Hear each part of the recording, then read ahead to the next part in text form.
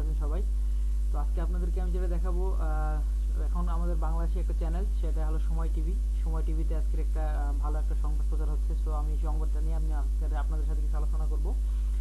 দেখেন আমাদের নবীজি মোহাম্মদ সাল্লাহ সাল্লামের সম্পর্কে অনেক সুন্দর সুন্দর কিছু বাণী তো আপনারা জানেন যে প্রায় চোদ্দশো বছর আগে এখন সাড়ে চোদ্দশো বছর আগে পার হয়ে যাচ্ছে। তো ওনার সেই কথাগুলো এখন বাস্তবে সত্যি হচ্ছে।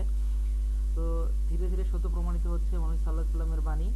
তো দেখেন সময় টিভিতে এ ধরনের একটা সুন্দর একটা প্রচার করতেছে ইনশাআল্লাহ। তো বন্ধুরা, আমরা যারা মুসলিম আছি, আমরা অবশ্যই অবশ্যই আল্লাহর কাছে বেশি বেশি হেদায়ত কামনা করব এবং অবশ্যই আল্লাহর কাছে আমরা ক্ষমা চাইব, পানা চাইব, আমাদের গুনার আমরা যেন ভালো কিছু করতে পারি এবং অবশ্যই আমরা মুসলমান আবার যে এক হব, এক হয়ে আমরা সামনের দিকে আরও ভালো কিছু করব ইনশাআল্লাহ। তো আল্লাহর কাছে আমরা বেশি বেশি করে সামনের দিন আরও ভালো কিছু ইনশাআল্লাহ আশা করি ভালো কিছু হবে। আর আমি আপনার লিঙ্কটা ডেসক্রিপশন লিঙ্কে দিয়ে দেবো চাইলে আপনার লিঙ্কটা ভিজিট করে আসতে পারেন। তো একটু চলেন, আজকের এটা আমরা একটু শুনি যে আসলে কি বলতেছে সময় টিভির এই প্রোগ্রামটা তো চলেন একটু দেখে আসি।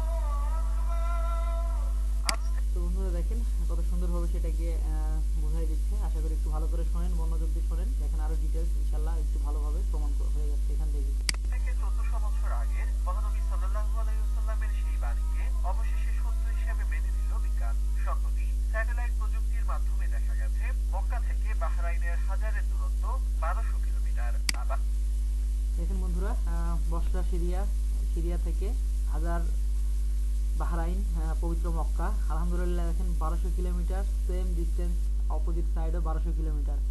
তো আল্লাহ, শুক্রিয়া আল্লাহর কাছে। আল্লাহ সব কিছু প্রমাণ, বাস্তবে সব রূপ এবং আমাদের কোরআনের সব পাই টু পাই সব মিলে যাচ্ছে। তো বন্ধুরা, আবারও শুনি ভালো করে এবং মন থেকে বিলিভ করেন সব কিছু মক্কা থেকে সিরিয়ার বুশরা দূরত্ব বারোশো কিলোমিটার এর মাধ্যমে প্রায় দেড় হাজার বছর আগে দেওয়া মহানবী সাল্লাল্লাহু আলাইহি আরও একটি বাণী মেনে নিল আধুনিক বিজ্ঞান।